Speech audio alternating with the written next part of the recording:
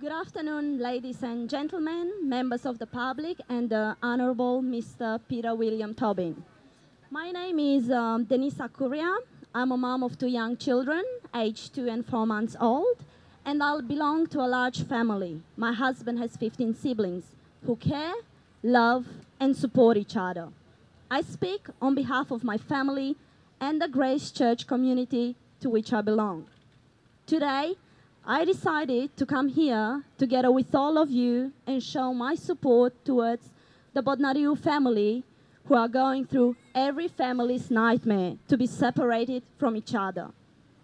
I am bitterly disappointed that Norway's child protection agency, called Barnevernet, has unjustly removed the Bodnariu children from their parents in such a cruel way. I have made every effort to educate myself on the matter, and I believe the Bodnariu parents were unfairly treated and that the children were loved and looked after appropriately by their parents. I believe the Bodnariu children should be returned back to their parents, and I am here together with all of you to ask Norway to do so immediately. As a mother of two beautiful sons, I can only imagine the pain and difficulty Ruth Bodnariu is facing. My youngest son is four months old, approximately the same age Ezekiel Bodnariu was when he was taken away from his mom, Ruth. There is a large amount of research that demonstrates that taking away an infant from his mother can have a massive negative impact on the child's welfare.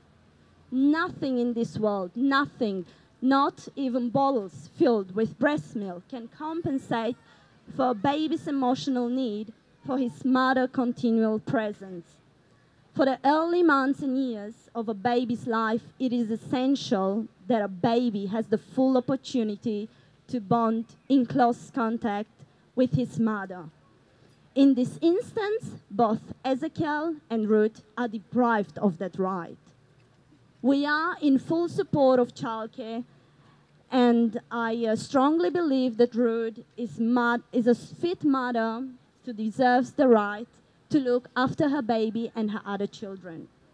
It is truly an inspiration to see the motivation and support of our global community, which stands as a united voice for the Bodnariu family.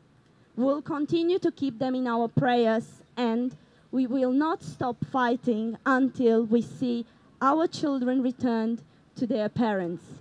Thank you, and God bless you all.